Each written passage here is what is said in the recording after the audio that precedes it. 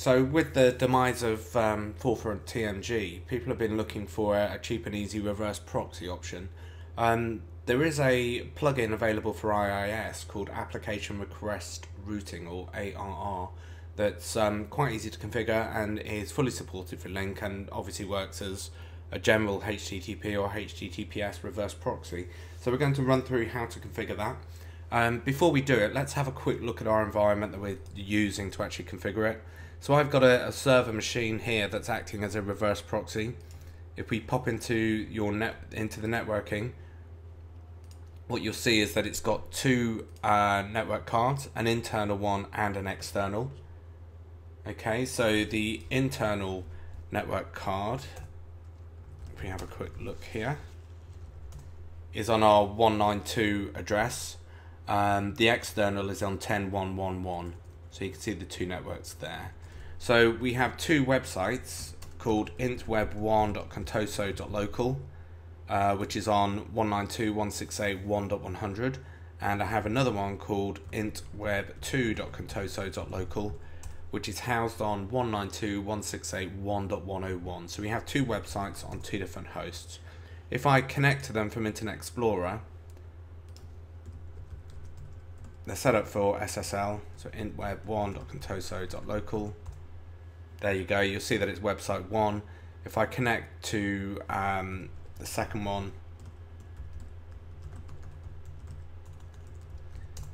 of course it just says website 2 so they're the two websites we're going to try and reverse proxy out.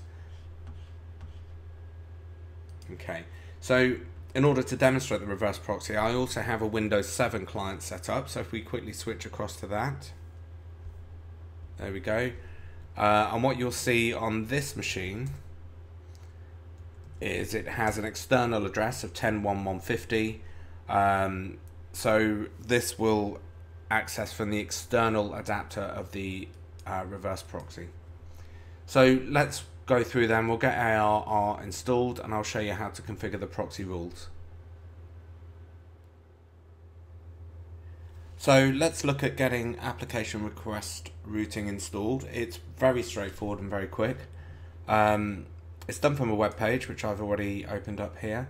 Um, you can get the link off my blog or you can see it at the top or just search for it. It's very easy to find. You'll see that there's an option there to install this extension. So uh, let's install that and we'll just let it run. Okay, so hit the install button.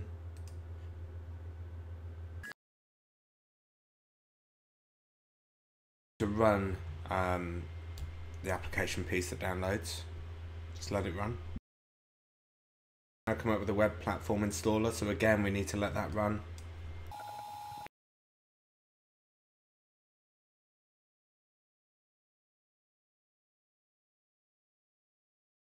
We're, we're now ready to actually download and install the, uh, the platform. So down the bottom there you've got an install button.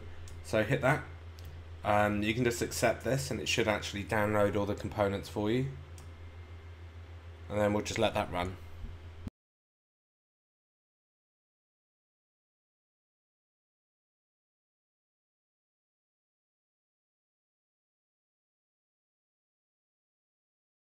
Finished.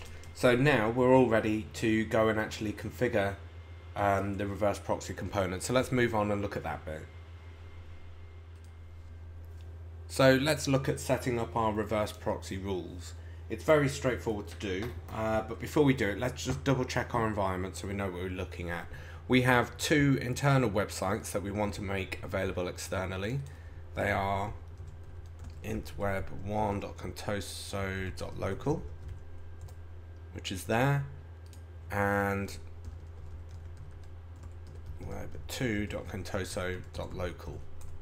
Okay, so if we look at those two websites, what we should see is that they're on two different IIS hosts. That one's on 1.100 and that one's on 1.101. And what we want to do is make these available externally but listening on one single IP address. So if I have a quick look at my reverse proxy, what you'll see is I have one internal address, which is the 1.103. and I have one public address, which is a 10111. So what we're going to do is we're going to listen, set up some reverse proxy listeners on 443 for 10111, but for both of those websites. So if we have a quick look at the client for a second, so if I switch across to my, my Windows 7 client, which is here, at the moment, if I try and connect to one of those addresses, our external URL, which is externalweb1.contoso.com, what you'll see is I'm actually getting the web proxy homepage from the IIS server on the ARR box.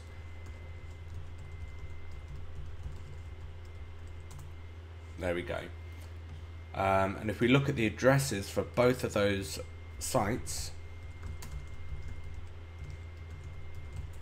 you'll see that they're both resolving to the same uh, IP address, the 10111. So let's switch back to our ARR box and I'll show you how to set up those reverse proxy rules. There we go. So what we're going to do is fire up our Internet Information Services Manager. There we go. If you expand it, you'll see now you should have an option there for server farms. So what we're going to do, we're going to create a new server farm. So right click on there, create server farm, and we're going to call this externalweb1.contoso.com. Okay, we want it online, so select next. Our server address, which is our, our internal address, is going to be intweb1.contoso.local. There we go. Now, if you're configuring this for something like Microsoft Lync, you'll need to change the ports on the internal facing joint. So for example, you'll see there that the HTTP port is 80 and the HTTPS port is 443. If this was for a Microsoft Lync listener, you would change it to 8080 and 4443. That's where you would change those settings. Okay, so what we're going to do is click Finish. And we're going to let it create a rewrite rule for us, so say yes to that. Now if you expand that server farm, you'll see a number of options in there. So what we're going to do first is double check our routing rules. So pop into that option there. Okay and we're going to turn off the enable SSL offloading. It's quite an important step that. So make sure it's turned off and apply those rules. There we go. Now the other thing that's worth watching out for um, certainly for websites for a Lync for example is to turn off the disk caching capability so for example I'm going to pop into here and I'm going to turn off the option for disk caching okay so we've now configured the server farm the next step is to change the scope of the rule so it only applies to one particular uh, website. And the way we do that is we pop up to the top here, so right to our, our head uh, site administrator, and in there you will see under the IIS component a an option for URL rewrite. So pop into that option, you'll see a couple of rules in there. One of them is for SSL and the other one is for straight HTTP as we're only publishing the HTTPS, I'm just going to delete the HTTP rule. Say yes to that. And then what I'm going to do is edit the uh, SSL rule. So select it, and on the right hand side click edit. And what we're going to do, you can see the conditional rules here. There's the first rule which is, yes it is a HTTPS request. And what I'm going to do is add an option in there. So click add. The condition input is going to be http underscore host, which is there. You can select it, of course. And we're going to match a pattern, which is external web one dot star. So it's a wildcard. And if you want, of course, you can then test that pattern. Okay. So the external website is going to be external web externalweb1.contoso.com. And if we test it, you should see that it passes those tests. So we'll click close, click OK, and apply that rule. There we go. So now we have set up our first um, reverse proxy. So what we should be able to do now is switch to our Windows 7 client, which is here, and we should now, on the external address, get reverse proxied to our appropriate host. There we go. And as you can see now, it has changed to website 1, which is exactly uh, what is hosted on our internal system. So if we double check now and try and go to our external web 2, you'll see we're still getting the web proxy homepage. So depending on the requesting URL, it will route appropriately. So let, let's get the um, reverse proxy set up for external web 2 as well. So I'm going to switch back to my reverse proxy. I'm going to pop to server farms and I'm going to create a new server farm. This one is going to be called externalweb2.contoso.com. The internal address is in intweb2.contoso.local. There we go. And again, under advanced settings, if you wanted to change the ports, that's where you would do it. Okay, click finish. It'll say something about a conflicting rule, but don't worry about that. Just accept it and let it create the rule. Now, again, what we're going to do is pop into these servers, pop into that server farm. We're going to change the routing rules, okay, to turn off SSL offloading. If you forget to do that, you'll find that uh, your SSL reverse proxy doesn't work like you expect it to. Um, and in addition, I'm going to turn off the disk caching as well. There we go. So that's our second one created. What we need to do is pop back and look at the re rewrite rules. So pop into the, the very top, select URL rewrite, and what you'll see is it's now created a couple of rules for our uh, Web 2. First thing I'm going to do is get rid of my HTTP rule because I don't want it to reverse proxy HTTP. There we go.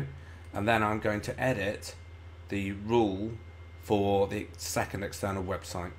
Exactly the same, I'm going to add a conditional rule which is HTTP host there, matches the pattern external web 2 dot star.